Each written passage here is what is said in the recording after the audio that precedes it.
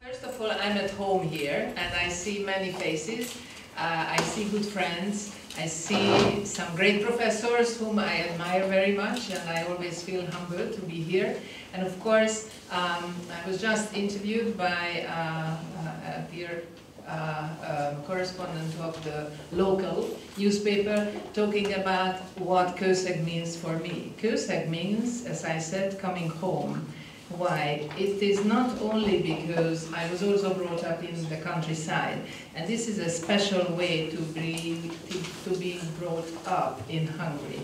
You are brought up in a little, I was brought up in a little village, so I was always hoping to know more about the world. I learned everything about the village, which was a very multicultural, beautiful village, very picturesque, just like Kőszeg.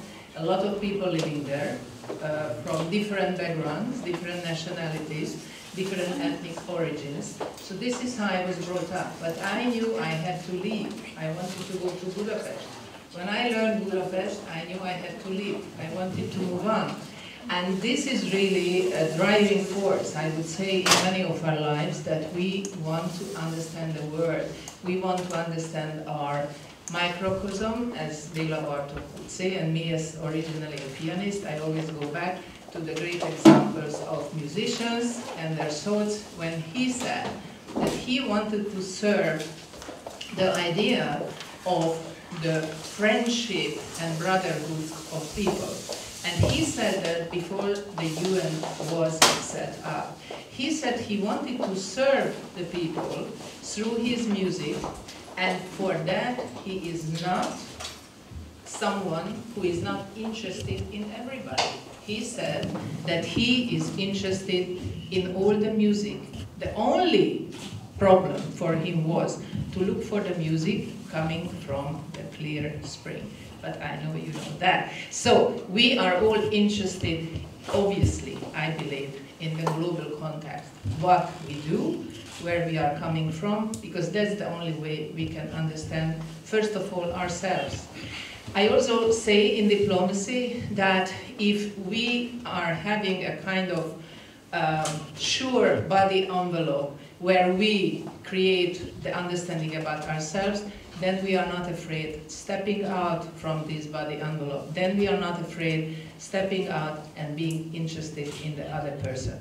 But first we have to understand who we are, and for that we need, we talked about that many times here in Kőszeg as well, great education, so that we could be not afraid, we should be not afraid of stepping out and understanding what the world is like around us. I'm also at home because I'm a great admirer of Professor uh, and Professor Jody Jensen. They have created a miracle here in Kőszeg, and I can say that not only because I've been friends, uh, but I've been someone who has seen it in the last, I would say, 13, 14 years since I've been coming here uh, uh regularly. I've seen how you, the students, have been coming pouring from different parts of the world. And the whole point was to create the summer university and to create I Ask because we would like to understand you and we are interested in your questions because without the new questions how could we find the new answers in the world for the serious problems, the serious uh, cul-de-sacs what we can experience. And of course, I feel at home, especially when I feel um, former colleagues like uh, Ambassador Emil Brix. We've been together to London. It was a long time ago, about 20 years. That time we both run the Culture Institution. Emil uh, ran the Austrian Culture Forum, which was a very established, beautiful culture center, and I set up the Hungarian Culture Center. So um, we all have different walks of lives, living in different parts of the world, but sometimes we just meet up And then it's also very interesting to see how we are doing and what advice or experience we can give to each other. So that's, and of course, Professor Kramer just came into the room. I'm so happy you are here. Uh, I, I, am really uh, very honored, Professor Kramer. I mean, I came from New York, he came from San Francisco.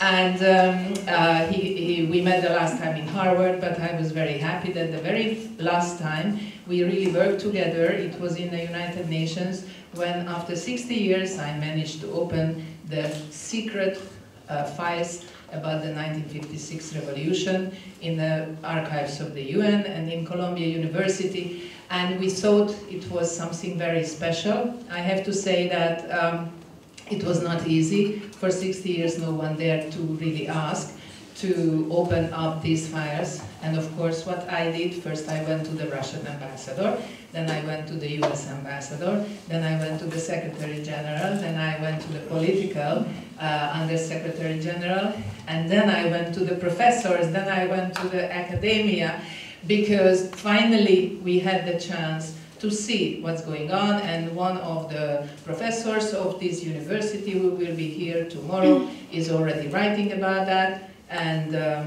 and you are um, you're, you are, I think you are publishing something together with, uh, with Andras, and I, I'm very happy that with, iASK with the institution, with Professor Miszlivetz, um, uh, we managed to publish a book uh, about this whole process, which was edi edited by Professor Jensen. And I'm just telling you, there is a little statue in front of this wonderful room, and this is the statue what we created. This is a statue, a cry for freedom, which I believe is a symbol of the 1956 revolution.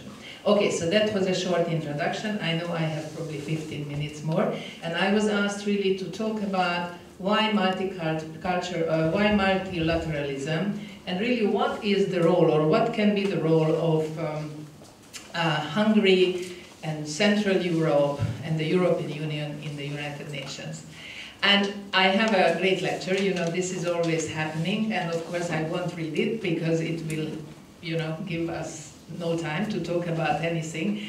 Uh, so I would like to say, to start with that, of course, when we are here in Kőszeg, and we discuss topics about Hungary, Central Europe, uh, Visegrad countries, the European Union.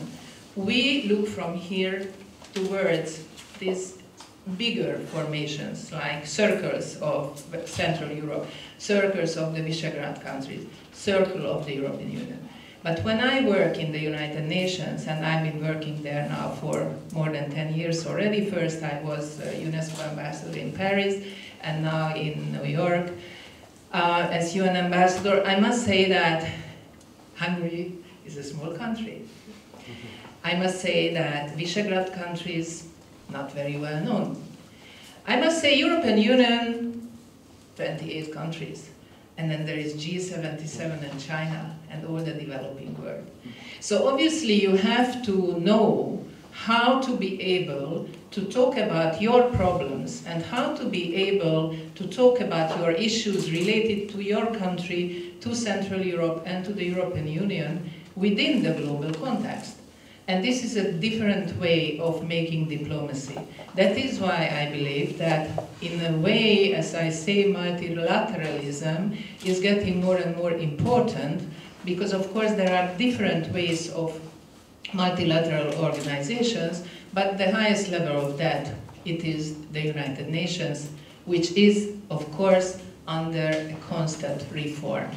Because just think about when it was set up, uh, with the idea actually of Bela Bartok, who had the idea before the UN was set up, uh, the whole concept was that there were five very strong countries who who were instrumental making peace and winning the war, who became the central pillars of the Security Council. Old China doesn't exist anymore. Old Soviet Union doesn't exist anymore. Old United Kingdom doesn't exist anymore. Old France doesn't exist anymore. United States, we can talk about that. So there is a construction which still is the most important uh, power in the United Nations, and this is the Security Council in which the P5, so the five permanent members, are not the members who they were in 2045. So obviously, all the new powers coming up would like to see their space and their strengths in the United Nations system. Now we as Hungary, we will never be, of course, a permanent member. We even, I don't know when, will be a non-permanent member in the United uh, Nations Security Council. We were in the 90s actually.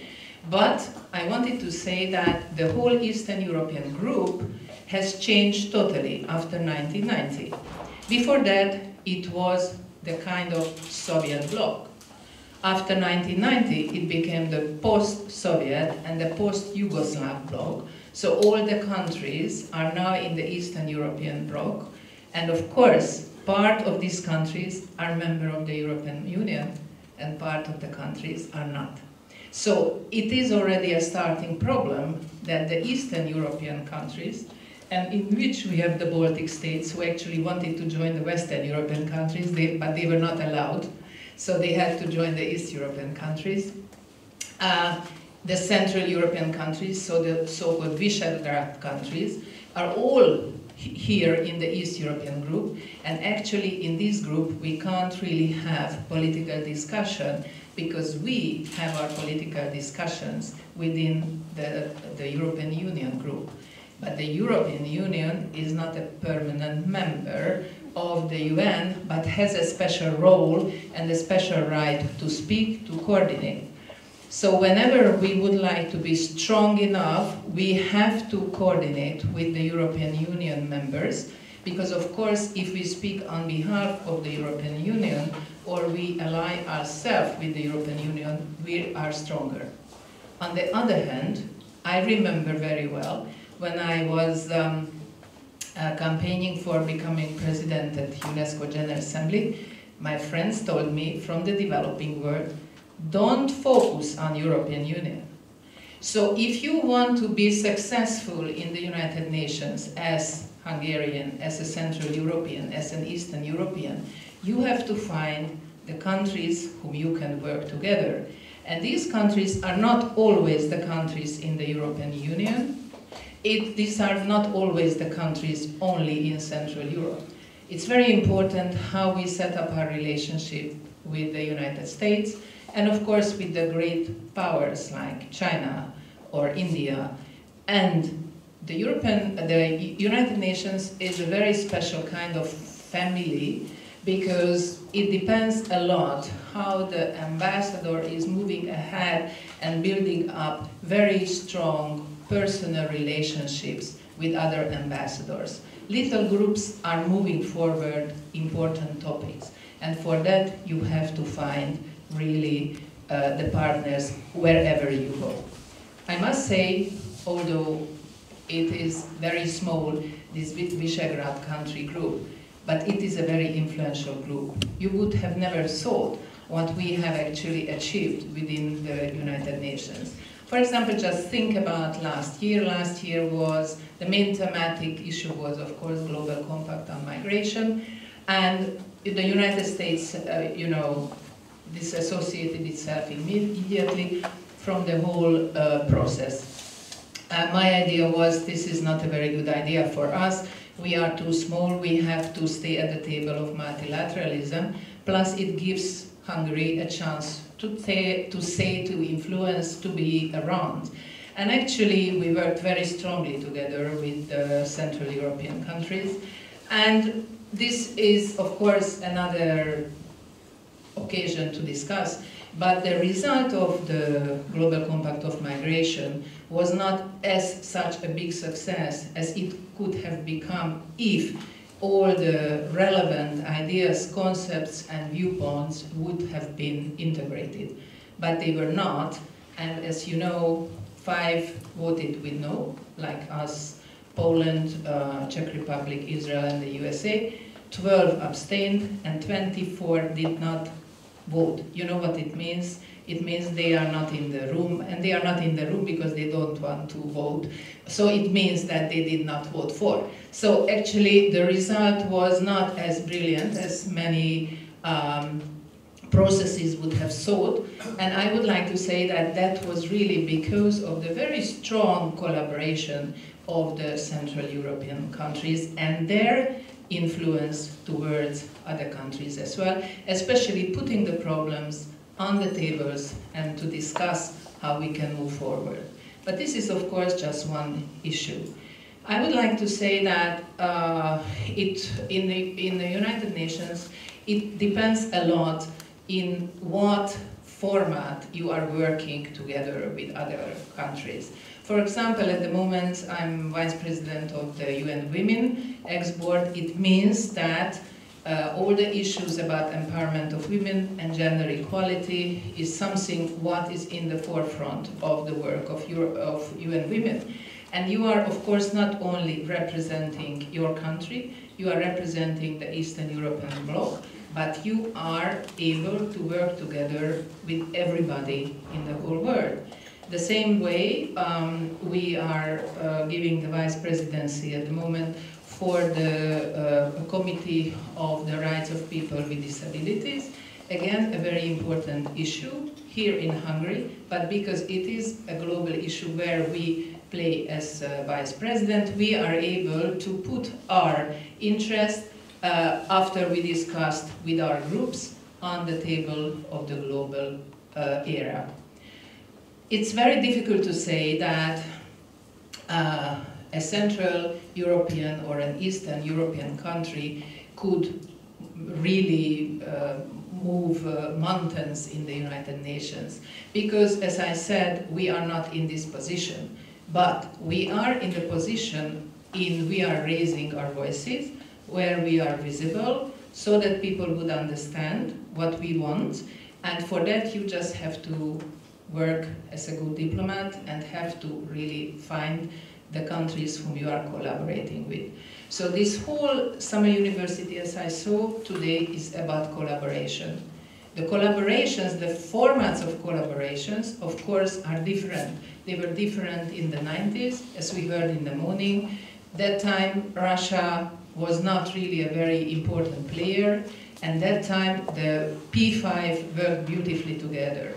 After Russia came sort of woke, woke up, I would say, again, it's very difficult at the moment to have a consensus, for example, between Russia and the United States. So we see this tension again, which is uh, very alarming in the United Nations. We don't know exactly where we are going to, but of course, as China is sitting as a P5 uh, and is very strongly working together with Russia, and of course, as France and UK are sitting as P5, working strongly together with the US. This fight is a, a, struggling experience for all of us. It's very difficult to have a consensus.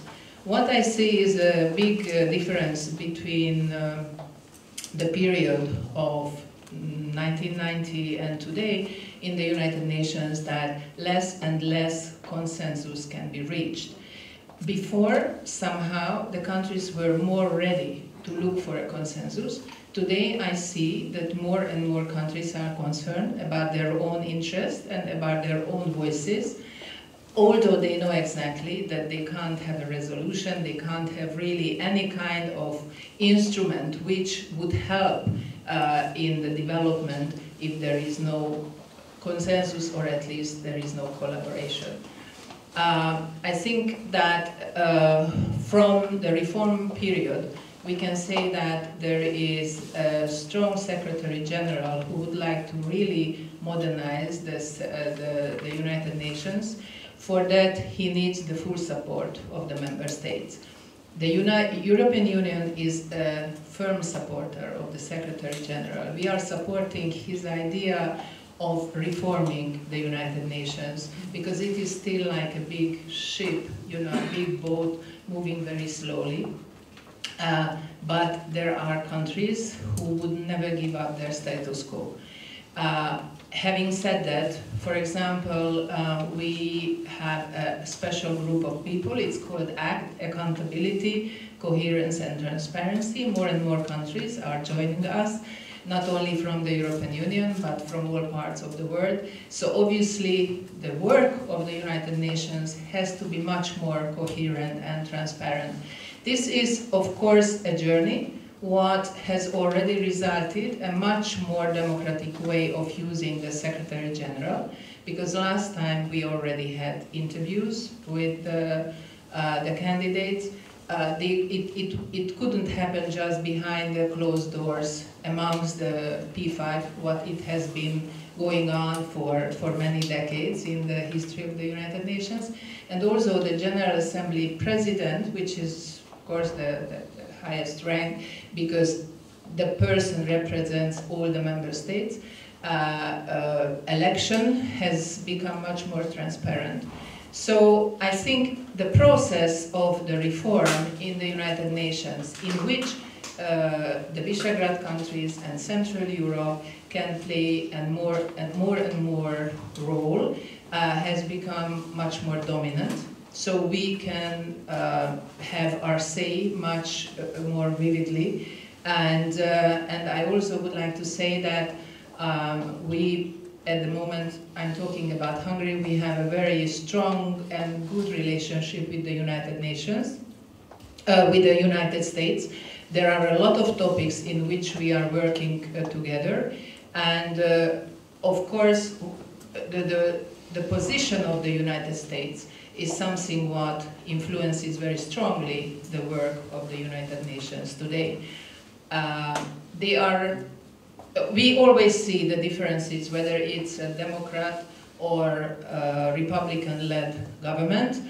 Uh, Republican-led governments in the United States are not very much supporting the international organizations, but so far a part of uh, the Paris Accord, we have been able to work together with them. And even Nikki Haley, who is a fantastic politician and uh, and uh, was the permanent representative of the US, wanted to have a much bigger cut in the, um, in the budget, did not really manage because even the US had to collaborate with other countries. So we have a chance, we have our voice, we are vivid, we are uh, visible, uh, but without collaboration, no way that we can move on in the global fora.